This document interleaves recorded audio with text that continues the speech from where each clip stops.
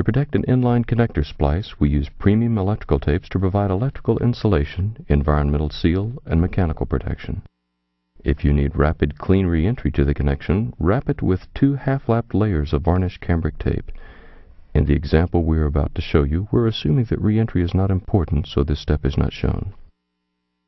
Start by grasping the edge of the Scotch brand linerless rubber tape 130C at the top of the crimped connector. Pull it until it begins to stretch. It should be stretched to one-third its original width, almost to the point of breaking.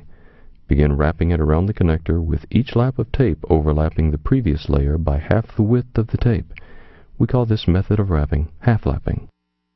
Wrap from the edge of the connector past the beginning of the cable jacket on one side.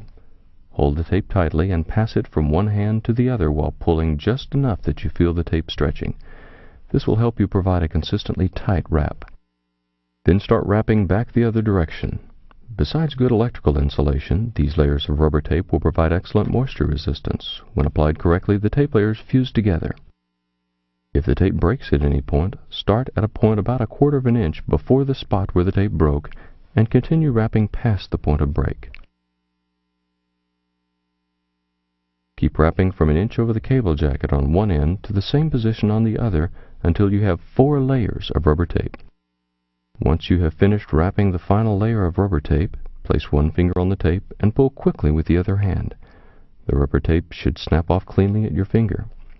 For re-insulating a connection, the rule of thumb is that you should build up the tape insulation to one and one-half times the existing cable insulation.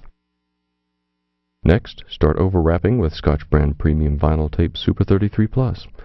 The vinyl tape will not only add to the electrical insulation, but also provide mechanical and abrasion protection for the rubber tape.